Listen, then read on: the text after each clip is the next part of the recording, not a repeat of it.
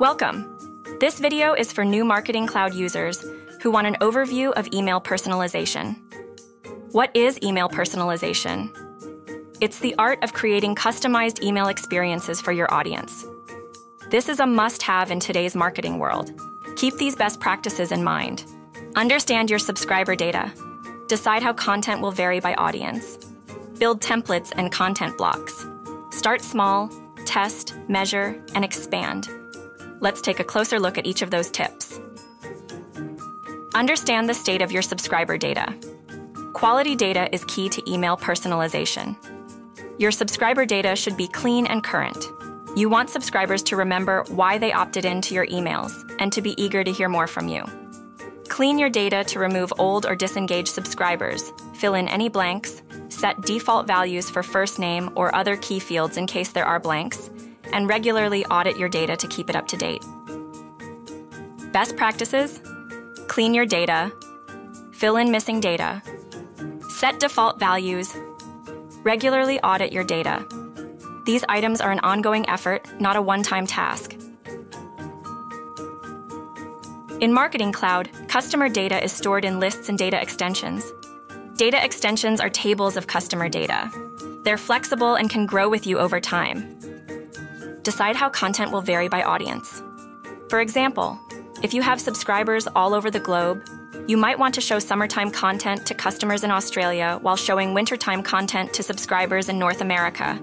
Use location, industry, gender, and other data to segment your audience. That way, each subscriber sees relevant, compelling content designed specifically for them.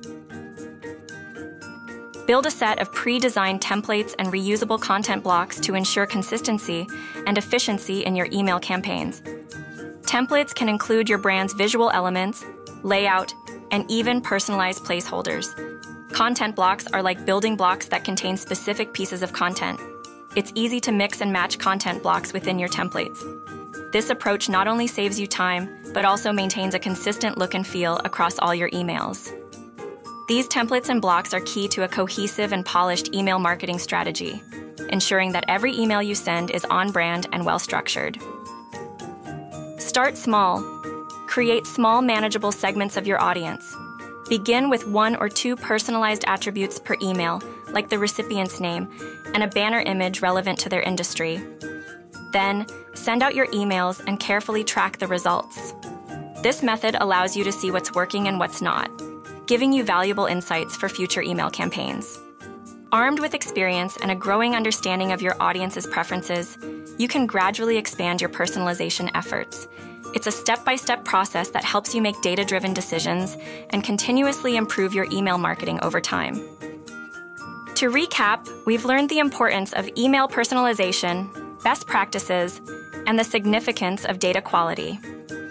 Next, learn how to personalize your emails in Marketing Cloud Engagement. Use four key tools personalization strings, dynamic content, AMPscript, and a suite of Einstein AI features. Learn all about these tools in our webinar on email personalization tools or through Trailhead and our help site. Thanks for watching.